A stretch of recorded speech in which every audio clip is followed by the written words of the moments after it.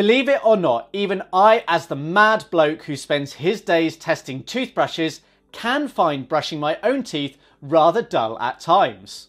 Well, a solution is on its way. Microbots. Hey, it's Jon from Electric Teeth here. Okay, so the idea of having a robot to help us do jobs we would rather not do isn't a new one. But how about robots that are placed in the mouth to clean the plaque from your teeth, doing away with the need for you to ever have to pick up a toothbrush or piece of floss again? Sounds amazing, right?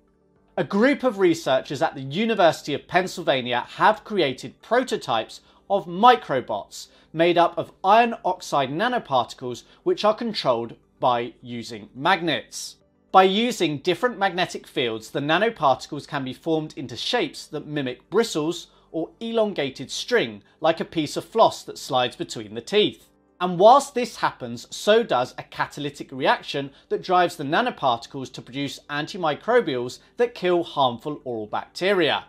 In a proof of concept study, researchers at the School of Dental Medicine and School of Engineering and Applied Science have shown that a hands-free system could effectively automate the treatment and removal of tooth decay causing bacteria and dental plaque. I often say in my videos how important the correct techniques for brushing and flossing are, but the reality is that doing so isn't easy for everyone, particularly those with disabilities or other complications that make everyday oral care more challenging.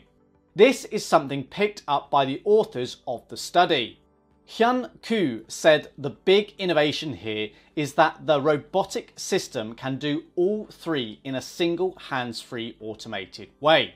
Although this hasn't been tested on actual humans, it has been tested on 3D printed teeth as well as real human teeth that have previously been extracted for medical reasons. The tech is very much in the early stages of testing, but the results look very promising.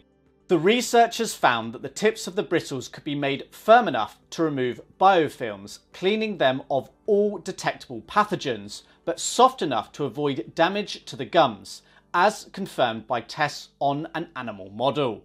According to Edward Steager, we form bristles that can extend, sweep, and even transfer back and forth across a space, much like flossing.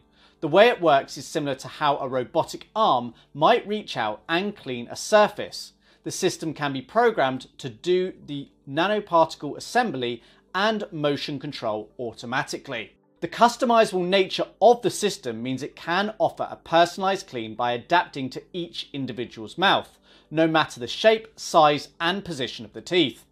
Koo says, we have the technology that's as or more effective as brushing and flossing your teeth but doesn't require manual dexterity.